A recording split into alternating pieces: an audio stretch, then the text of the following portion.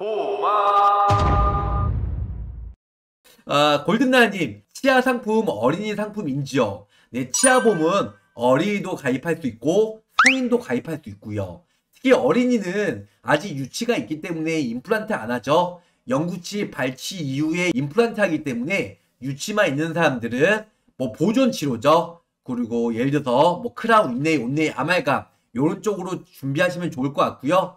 성인 같은 경우는 임플란트, 아, 브린치 뭐 요런 쪽으로 하다 보니까 보존 치료, 보철 치료 전부 다 준비하셔도 좋을 것 같아요. 요즘에는 20, 30대 분들도 뭐 씹다가 부러진 경우가 많이 있고 예전에 마스크를 써서 그런지 건조해서 치아 상태 안 좋은 사람들 정말 많아요. 그리고 치카치카 정말 잘한다고 잇몸 질환이나 충치가 안 생기는 게 아니에요. 유전적인 거나 식습관도 있기 때문에 이러한 부분들 고려한다면 임플란트, 브릿지 틀리, 보철 치료나 보존 치료 이런 쪽을 같이 준비하시면 좋으실 것 같습니다. 소견 받은 것도 상관없나요? 진단 받은 것도 아닌가요? 진단 받은 거나 소견 받은 것도 1년 이내 고지사항이 포함이 되고요. 1년이 지나야 가입이 가능해요. 아니면 일단 가입이 가능한 회사 한 군데 딱 있어요. 그것도 어, 있게 있는데 고지하면 1년 이내는 다 거절이다. 그래서 1년이 지나서 고지사항에 포함이 안 되니까 아니면 또 유병자 간편 치아보험이 있어요. 1년만 고지하는 거 그런 보험 쪽으로 가입을 하시거나